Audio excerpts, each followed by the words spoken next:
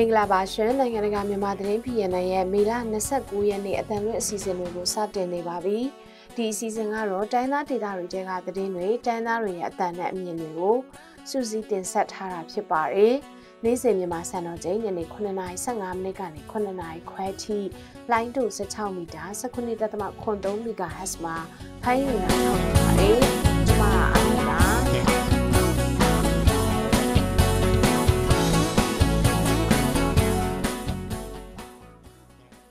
ဒီနေ့သတင်းတွေထဲမှာတော့အိန္ဒိယမြန်မာနယ်စပ်ကချင်းလူဆိုင်ကုကီးအနွယ်ဝင်အားလုံးကအုပ်ချုပ်မှုတစ်ခုအောက်ထဲမှာပြန်လည်စုစည်းနေထိုင်ဖို့ဆုံးဖြတ်လိုက်ကြပါတယ်။လိုက်ကော်မြို့နယ်အတွင်းလက်နက်ကြီးကြီးကြတာကြောင့်လူ၄ယောက်သေဆုံးသွားပါတယ်။ သတင်းလွှာတွေထဲမှာတော့ကယ်ဆယ်ရေးဝန်ထမ်းတွေကိုဖမ်းဆီးစစ်ဆေးခဲ့တဲ့အတွက်ရခိုင်ကပရဟိတလုပ်သားတွေဘာတွေကိုစိုးရိမ်နေကြပါသလဲ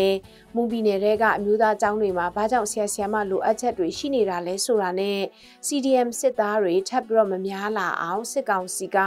ဘယ်လိုမျိုးတင်းကျပ်မှုတွေကိုလုပ်နေတယ်လဲဆိုတာတွေကိုတင်ဆက်ထားပါတယ်အခုတော့သတင်းတွေကိုကျွန်မနဲ့အတူဆမ်နော်ကနေတင်ဆက်သွားမှာပါ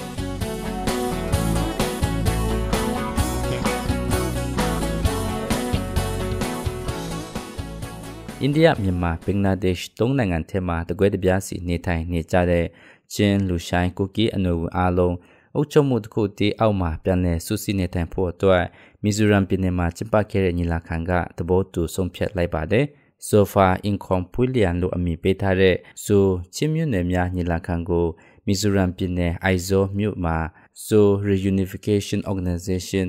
ZORO ဆိုရအဖွဲ့ကဦးဆောင်ပြီးတော့ မေလ26နဲ့29ရက်တွေမှာနေရတာကျင်းပခဲ့တာပါ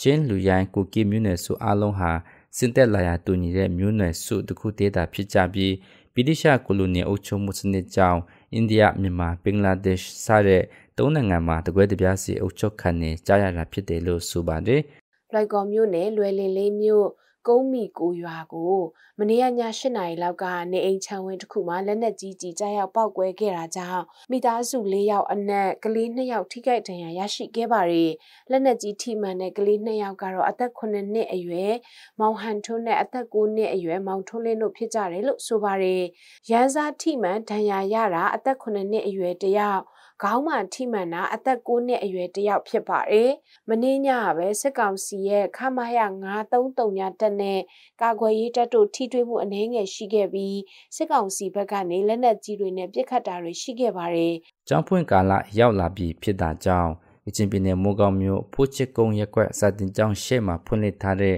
လောင်ကစားဝိုင်းကိုပိတ်သိမ်းစေချင်တယ်လို့ဒေသခံတွေကပြောပါတယ်။ကာစီလိုငမန်ဂိမ်းနဲ့ဖိုက်ကျူးတွေပါဝင်တဲ့ လောင်ကစားဝိုင်းကိုဖိုးချစ်ကုန်းရက်ကွက်မူလာတန်းစာတင်ကျောင်းရှေ့မှာဖွင့်လှစ်ထားပြီးလူအဝန်ထွက်များနေတာကြောင့်ကလေးတွေအတွက်စိုးရိမ်မှုတွေရှိနေတာဖြစ်တယ်လို့မူကောင်းဒေတာခန်တယောက်ကမြချနာတဲ့တင်ကြနယ်ကိုပြောဆိုထားပါတယ်။အဲ့ဒီလောင်ကစားဝိုင်းတွေမှာတရက်ကိုလူအယောက်90ဝန်းကျင်လောက်လာလည်ရှိပြီးတော့ညပိုင်းဆိုရင်ဒီထက်လူပူများတဲ့အတွက်ကိုဆူလူရဲ့မှုတွေဖြစ်ပွားလာမှာကိုလည်းစိုးရင်ရတယ်လို့ဒေတာခန်တွေကပြောပါတယ်။ ရခိုင်ပြည်နယ်အနှံ့ကပြည်သူတွေအတွက်နိုင်ငံတကာအရေးပေါ်အကူအညီပေးရေးအဖွဲ့အစည်းတွေကကူညီတဲ့အခါမှာနှောင့်နှေးမှုမရှိစေဖို့အတွက်နဲ့ထိရောက်စွာကူညီပေးနိုင်ဖို့ရခိုင်အရေးပေါ်အဖွဲ့အစည်းတွေကအချက်၉ချက်နဲ့မေလ29ရက်နေ့မှာတောင်းဆိုလိုက်ပါတယ်။မိုးခမုန်တိုင်းကြောင့်ရခိုင်ပြည်သူတသန်းကျော်ထိခိုက်ခဲ့ပြီးစစ်တွေရသိတာပုံနှကျွန်းကြောက်တော်ပေါက်တော်မရောက်ဦးမင်းပြမြေပုံစတဲ့မြို့နယ်တွေထဲမှာပျက်စီးဆုံးရှုံးမှုအများဆုံးဖြစ်ခဲ့ပါတယ်။ ဒါကြောင့်ပြည်သူတွေရဲ့အရေးပေါ်လိုအပ်ချက်တွေကိုထိရောက်စွာကူညီနိုင်ဖို့ကူညီကယ်ဆယ်ရေးလုပ်ငန်းဆောင်ရွက်နေသူတွေအနေနဲ့ပူးပေါင်းဆောင်ရွက်ကြဖို့နဲ့အတူတကွရင်ဆိုင်ကြော်လွှားကြဖို့မေတ္တာရက်ခံထားပါတယ်။ကူညီဆောင်ရွက်တဲ့အခါမှာလည်းတနေရာထဲမှာစုပုံပြီးတော့ပံ့ပိုးကူညီတာမျိုးကိုရှောင်ရှားဖို့နဲ့ဘတ်ဂျက်ရာထားချက်တွေတွားရက်ကူညီကြမဲ့နေရာတွေနဲ့လက်တွဲလှုပ်ဆောင်ကြမဲ့အဖွဲ့အစည်းတွေကိုပွင့်လင်းမြင်သာစွာရှိဖို့အရက်ဘတ်အဖွဲ့အစည်းတွေနဲ့ညှိနှိုင်းပြီးပူးပေါင်းအကောင့်ထဲပေါ်ဆောင်ရွက်ကြဖို့တိုက်တွန်းထားပါတယ်အခုနားဆင်ကြရတာကတော့ BNI Radio ရဲ့နေ့စဉ်သတင်းအစီအစဉ်ပဲဖြစ်ပါတယ်ဒီအစီအစဉ်ကိုတော့နေ့စဉ်မြန်မာစံတော်ချိန်ည9:15မိနစ်ကနေ 9နာရီခွဲအထိ15မိနစ်ကြာထုတ်လွှင့်သွားမှာဖြစ်ပါတယ်။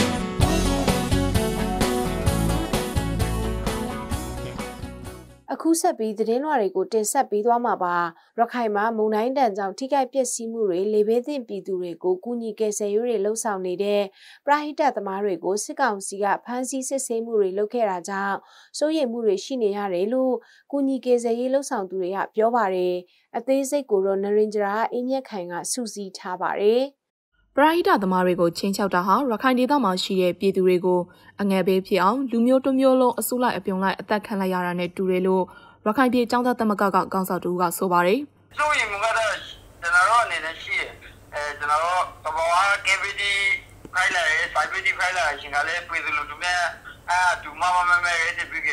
အလုံးလုံးနေအခွေးလေးတစ်ခုဖိုက်ပါတယ်။ဆိုရင်ကကျွန်တော်တို့ဆရာဝန်ဟိုကိုဖန်ကောဘရန်ဒီ ရခိုင်ပြည်မှာဗာနဲ့လာရှိလုံးရဲ့ပရိုက်တာသမားကြီးကိုဒီအဲတပန်းနေနဲ့ခင်းခောက်လိုက်တယ်လေဖိုက်ကြပါကျွန်တော်လာရှိဒုက္ခလုံးနေရှင်မှာဗာနဲ့ဒီချာချာဝင်ရောပါကျွန်တော်တို့တောက်သမားတို့ပါအဲသူတို့ကအနှုတ်ချပြီးရဆိုကြဟာတော့အာတပတ်တလည်းပေါ်ပြီးဒီညဆိုင်လုံးရဲ့ပုံစံမျိုးပါမိုးခေါမုန်တိုင်းတန်ခံနေရတဲ့ပြည်သူတွေအတွက်ကုညီကိစ္စရေးပေးဖို့သွားတဲ့စာရေးဆရာဝင်းဟန်အောင်နဲ့သမီးအပါအဝင်ဘိုးစိန်ပရဟိတအသင်းကအသင်းဝင်2ဦး စုစုပေါင်း9ဦးတို့ဟာမေလ23ရက်နေ့မှာစစ်ကောင်စီကဖမ်းဆီးမှုတွေပြုလုပ်ခဲ့ပြီးနောက်တနေ့မှာပြန်လွှတ်ပေးခဲ့ပါတယ်။အဲ့ဒီဖြစ်ရဲ့နောက်ပိုင်းမှာကုညီကေစီရေးခရီးစဉ်တွေသွားတိုင်းစစ်ကောင်စီစစ်စီရေးဂိတ်တွေမှာတတိထားသွားလာနေရသလိုအဖွဲတိုင်းစိုးရိမ်မှုတွေရှိနေရတယ်လို့မြောက်ဦးမြို့ကလူမှုကူညီရေးအဖွဲ့ကောင်ဆောင်တူကပြောပါတယ်ကျွန်တော်တို့အနေနဲ့စူးစမ်းထားပါလေဒီရခိုင်မှာအခုဟိုလက်တလောဖိုင်းနေတွေကိစ္စရီကို ကူညီကိစ္စလုံးနေအဖွဲ့ဒီအားလုံးအနေနဲ့တော့စိတ်ချင်းမှာတော့ခါဟိုစွန့်နေတဲ့အများကြီးရှိခဲ့ဖို့လို့ထောင်ပါတယ်လုံးစတော့လုံးနေပါမလဲနောက်ကဒီမှာဟိုဒီတာကစားရှိရဟိုတဲတီမှာဟိုတိုက်စီရှိကလားအမိမခံရပလားဒါမှမဟုတ်ဟိုစင်စရနဲ့ဖင်ပလားရပပုံစံစွရင်စီဒီလေးဟိုအများကြီးရှိနေပါတယ်အခုပါလေ ရခိုင်မှာမုန်တိုင်းကြောင့်ရခိုင်ပြည်နယ်မြောက်ပိုင်းကမြို့နယ်တွေအားလုံးရဲ့60-65ရာခိုင်နှုန်းအထိနေအိမ်အဆောက်အအုံဇေဒီပထိုးကျောင်းကန်တွေပျက်စီးခဲ့ရပြီးလူသေဆုံးမှုတရားကျော်ကြီးရှိခဲ့ပါတယ်။ဒါပေမဲ့လည်းလက်ရှိအရှင်အထိမူတိုင်းသင့်ပြည်သူတွေဟာ ULA ကဖွဲ့စည်းထားတဲ့အာရခအရေးပေါ် KCA နဲ့ပြည်လည်နေရာချထားရေးကော်မတီနဲ့စစ်ကောင်စီတို့ကထောက်ပံ့မှုတချို့ဟာလည်းပျက်စီးဆုံးရှုံးမှုများပြားတဲ့အတွက်ကြောင့်လုံလောက်မှုမရှိဘူးလို့လေဘေးသင့်ပြည်သူတွေကပြောဆိုကြပါတယ်။ ဒါကြောင့်တစ်ဖက်တစ်လန်ကကူညီထောက်ပံ့မှုတွေပေးနေတဲ့ပရဟိတသမားတွေကိုဖမ်းဆီးစစ်ဆေးမင်းမြန်တာဟာလေဘေးသင့်ပြည်သူတွေပိုဒုက္ခရောက်နိုင်ပြီးအငယ်ဘေးနဲ့ကြုံတွေ့ရနိုင်တယ်လို့ကြောက်တော်မျိုးနယ်ပေါင်လေးမြောက်ကျေးရွာကလေဘေးသင့်ပြည်သူတို့ကပြောပါတယ်။ မွန်မျိုးသားပညာရေးဌာနကခန့်အပ်ထားတဲ့ကျောင်းဆရာဆရာမတွေအနေနဲ့အလုပ်ရက်နာတာတွေများပြားလာတာကြောင့်လာမယ့်ပညာသင်နှစ်အတွက်ကျောင်းဆရာဆရာမအခက်အခဲဖြစ်နိုင်တယ်လို့မွန်ပညာရေးဌာနရဲ့တာဝန်ရှိသူကပြောဆိုလိုက်ပါတယ်။အသေးစိတ်ကိုမိဒေစီယာစူးစီးထားပါတယ်။ကျောင်းဆရာဆရာမအဖြစ်ဝင်ရောက်လောက်ကင်ဖို့စိတ်ဝင်စားသူနေပါတာ။လစာရရှိမှုလည်းနေပါတာကြောင့်လာမယ့်စာသင်နှစ်အတွက်အခက်အခဲကြုံနေရတာဖြစ်တယ်လို့ မွန်မျိုးသားပညာရေးဌာနတာဝန်ရှိသူတို့ကပြောပါတယ်အဓိကအခက်အခဲအကြီးဆုံးကလစာစရိုက်ပဲဒီနှစ်ဆိုနှောက်ထွက်တဲ့ဆရာဆရာမတွေအယမ်းများတယ်အခုခေတ်လူငယ်တွေကလည်းဆရာတယောက်ရဲ့လစာပမာဏကိုပြောလိုက်ရင်သူတို့ရေတော့မလို့ပဲလူငယ်အများစုကတော့နိုင်ငံခြားကိုပဲရောင်းထွက်တာများတယ်နှောက်ထွက်သွားတဲ့ဆရာဆရာမတွေမှာလည်းအခုထိအစားထိုးရှာလို့မရသေးဘူးအကြောင်းကလည်းဖွေးတော့ဒါကြောင့်လာမယ့်စာတင်နှစ်အတွက် ဆရာဆရာမဥယေပြေဖို့ကို့မြို့နယ်နဲ့ကိုစ조사ရှာနေရတယ်လို့လည်းသူကဆက်ပြောပါတယ်။လက်ရှိမော်မျိုးသားအကြောင်းကနေရရှိနေတဲ့လာစားပမာဏဟာဆရာဆရာမတယောက်တော့အသုံးစရိတ်လောက်ငါဖို့အနိုင်နိုင်ဖြစ်နေတယ်လို့လည်းမူတော်မျိုးနဲ့မော်မျိုးသားကျောင်းဆရာမသူကဆိုပါတယ်။ သူတစ်ဖြစ်တန်ပစီယကျေဘက်ကဆိုရင်အဲ့ဒီဘက်ကငွေကြေးပြည့်စုံတယ်ခြံတွေအလောက်တလည်းပေါ်တော့ပတ်စံတသိန်းတသိန်းခွဲဆိုရင်အမျိုးသမီးတယောက်ရဲ့တောင်းစရိုက်ကမလောက်ဘူးကိုဝန်စားတော့မဖြည့်နိုင်ဘူးပြေရှည်မတော်နိုင်ဘူးပေါ့လေတချို့ဆိုရင်တသိန်းခွဲရတဲ့ရွာမှရတာမရတဲ့ရွာဆိုမရဘူးဝန်ပစ္စည်းကပဲရတယ်အာမနုကပေါခမဟရမုံမျိုးသားကျောင်းအများစုကတော့ကျောင်းသားအယောက်30ကျော်ကိုဆရာဆရာမတယောက်နှုံနဲ့တင် जा နေပေမဲ့ ဒီနှစ်မှာတော့ចောင်းသားနဲ့ဆရာမဦးရေမမျှတမှာစိုးရိမ်မိတယ်လို့လည်းသူကဆက်ပြောပါရယ်ပြီးခဲ့တဲ့ပညာသင်နှစ်မှာဆိုရင်မူဂျိုတင်ចောင်းဆရာမတူကို9000ကျပ်နှုန်းမူလတန်းတင်ចောင်းဆရာမတူကို8900ကျပ်အလဲတန်းចောင်းဆရာမတူကို9900ကျပ်နဲ့စံတအိတ်စီမော်မျိုးသားပညာရေးဌာနက လှဆင်းထောက်ပပေးထားပါတယ်။မွန်မျိုးသားပညာရေးရန်ပုံငွေအတွက်မွန်မျိုးသားပညာရေးချစ်သူများဖွဲ့ကိုဖွဲ့စည်းထားပြီးရရှိလာတဲ့ရန်ပုံငွေကနေ ဆရာဆရာမတွေရဲ့အလားစားចောင်းဆောက်လောက်တာပညာသင်ကြားရေးအတွက်ကုန်ကြစရိတ်နဲ့ဝန်ထမ်းထောက်ပနေတာတွေပါသုံးစွဲနေရပါတယ်။မွန်မျိုးသားပညာရေးဌာနဟာမိခင်ပါတာစကားအခြေပြုတင် जा ရေးစနစ်ကိုအသုံးပြုနေတဲ့တိုင်းသားပညာရေးဌာနတစ်ခုဖြစ်ပြီးမြို့သားကျောင်းပေါင်း140ကျော်နဲ့ဆရာဆရာမဦးရေတထောင်နီးပါးရှိပါတယ်။ အကြမ်းမဖက်အာဏာဖီဆန်ရေး CDM လှုပ်ရှားမှုမှာစစ်ကောင်စီတပ်သားတွေပါဝင်လာတာပိုပြီးတော့များလာတာနဲ့အမျှစစ်ကောင်စီတပ်တွင်တိုးမြင့်ကန့်သက်ဖိနှိပ်မှုတွေပိုပြီးတော့လှုပ်ဆောင်လာတယ်လို့ CDM အတိုင်းဝိုင်းကတန်လွင်ထိုင်းမှုပြောပါတယ်။အသေးစိတ်ကိုတော့မေမီမင်းညိုကသတင်းပေးပို့ထားပါတယ်။စစ်ကောင်စီဟာတကြံကာလအတွင်းတက်တွင်းပျော်ပွဲရွှင်ပွဲတွေနဲ့ဖြည့်လျှော့မှုတွေပြုလုပ်ခဲ့တဲ့အတွက်ဧပြီနှောင်းပိုင်းမှာစစ်ကောင်စီတပ်ကနေ CDN လှုပ်လာသူတွေပုံမများပြားလာခဲ့တာဖြစ်ပါတယ်။ လက်ရှိမှာတော့စစ်ကောင်စီတပ်ဟာတပ်ကြီးနဲ့ CDN ပြုလုပ်တဲ့နှုံတွေကိုထိမ့်ချုပ်နိုင်မှုတပ်တွဲမှာမှတ်ပုံတင်တဲ့အိမ်အောင်စုစီရင်တွေတင်ဆက်ထားတာတွေအပြင်တပ်ထဲကမထွက်ဖို့ကန့်သတ်မှုတွေပါလှုံ့ဆော်လာတယ်လို့တပ်တွင်းစောင့်ကြည့်လေ့လာသူတဦးကပြောပါရယ်ဒီမှတ်ပုံတင်တွေတကောင်ရှင်းတွေကိုဒီတင်ထားတယ်အာနောက်ပြီးတော့ဟောတချို့တွေကိုဒီလုံခြုံရေးအကြောင်းပြချက်တွေနဲ့ဒီတက်တွင်းထဲမှာပဲဒီတကောင်ရှင်းတွေမှတ်ပုံတင်တွေကိုပြောင်းခိုင်းထားတာတွေရှိတယ် ရွေးကောက်ပွဲအကြောင်းပြချက်တွေနဲ့ပြောင်းခိုင်းထားတာတွေရှိတယ်အဲ့ဒါတွေအကုန်လုံးကိုတက်ကသိမ်းထားတယ်ဒါနံပါတ်1ပေါ့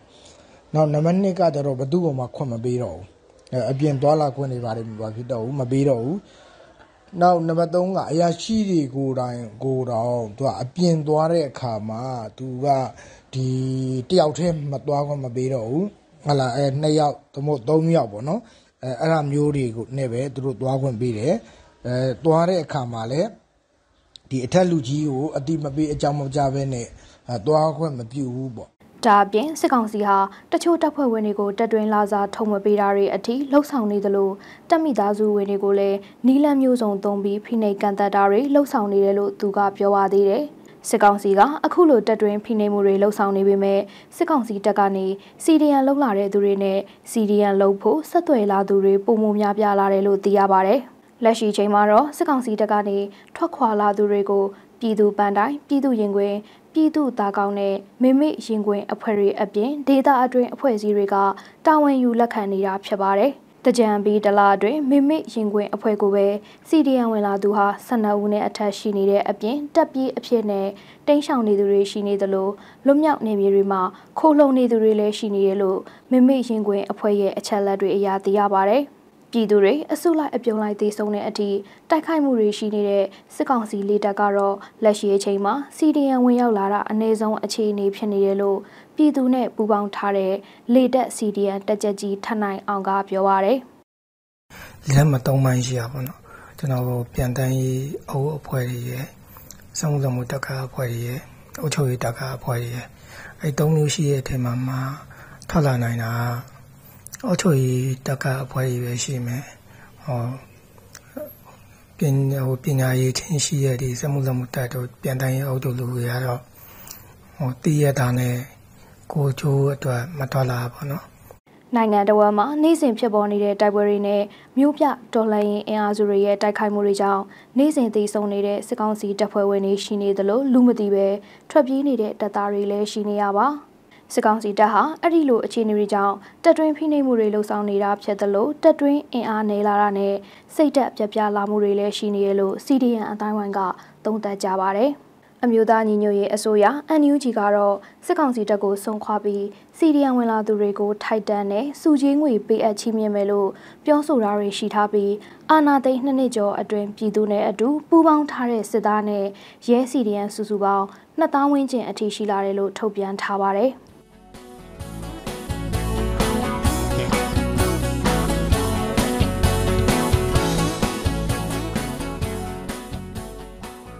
နားဆင်ခဲ့ရတာကတော့ BNI Radio ရဲ့နေ့စဉ်သတင်းအစီအစဉ်ပဲဖြစ်ပါတယ်။ဒီအစီအစဉ်ကိုတော့နေ့စဉ်မြန်မာစံတော်ချိန်ည9:15မိနစ်ကနေ9:00ခွဲအထိ15မိနစ်ကြာထုတ်လွှင့်သွားမှာဖြစ်ပါတယ်။နားဆင်ပေးကြတဲ့အတွက်ကျေးဇူးတင်ပါတယ်ရှင်။